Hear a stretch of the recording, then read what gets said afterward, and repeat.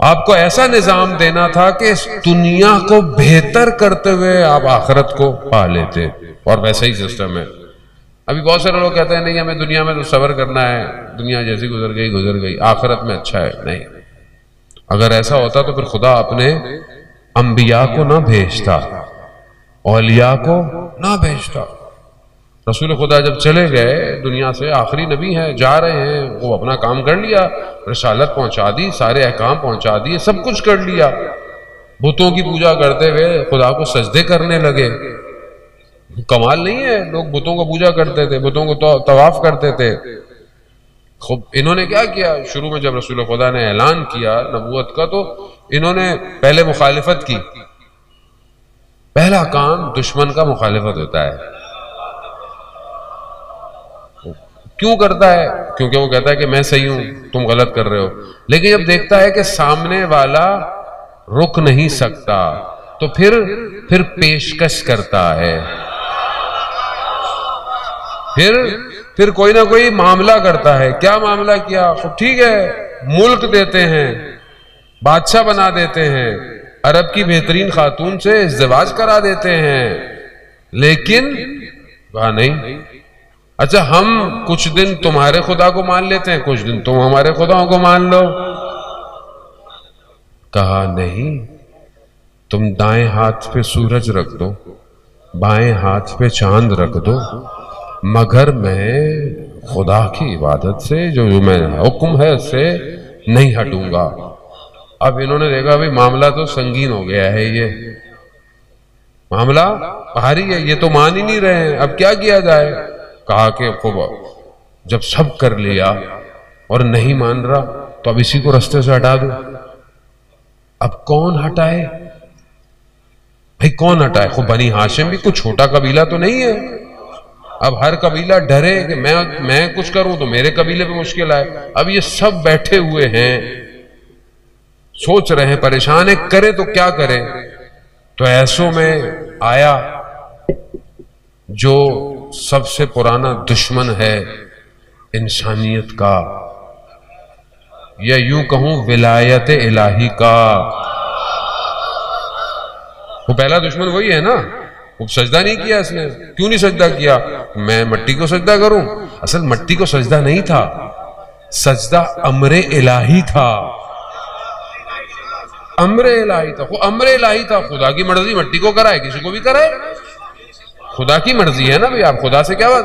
खुदा ने उसको कहा इसी को सजदा करो, कुछ भी करो। ये अमरे इलाही है। अमरे इलाही, कुछ भी हो, नहीं किया। आया ये, वहाँ आया, सब बैठे हुए थे।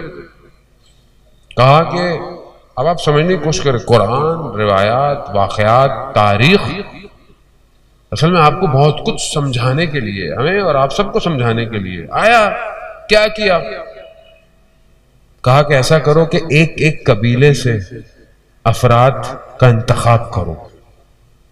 कहा जब सब कबीलों से मिल के हमला करोगे ना तो बनी हाशिम तुम सब कबीलों के मुकाबले में नहीं आएगा। इन्होंने सारे कबीलों से शख्स जो थे, ताकतवर या जैसे भी थे, उनका इंतखाब किया। कहा फिर सब बताया उसने। सब उसी ने बताया। ये सब उसी का सिस्टम है जो आज तक चलता हुआ आ रहा है। अब भाई, पुराना सिस्टम था। अच्छा आप शैतान को कभी हल्का मत समझा करें। इबलीस इबलीस हमारे अबावजदात से वाकिफ है। उसे पता है इसके दादा ने कहाँ कहाँ क्या क्या किया है। इसके अंदर भी वो कमज़ोरी होगी। उसको हल्का मत समझे। वो हमारे अबावजदात से वाकिफ है। इसलिए वो आता है। इधर उधर से लेफ़्ट राइट होता हुआ। वो कुरान इसलिए उसे उदू मुबीन कह रहा है। सर सख्त दुश्मन कह रहा है उसे। हम तो पता ही नहीं शैतान भी है कि नहीं ज़िंदगी में। हमें तो पता ही नहीं। है इतना नॉर्मल हो गया है, शैतान पता ही नहीं है शैतान है कहाँ हमारी ज़िंदगी में। अब इसने इतनी प्लानिंग की स्ट्रेटेजी की एक एक बंदों का इंतखाब करो, रात को हमला करो, ये करो, वो करो, सब दे गया सिस्टम इनको। अब ये पूरी ताकत लगाए कबाइल, मुशरकिन के, जमा हुए हुए।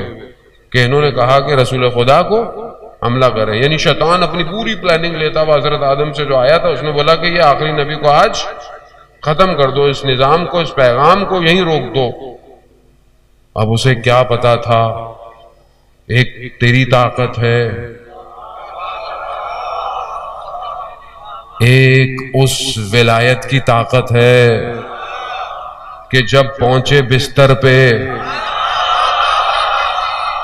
तो पत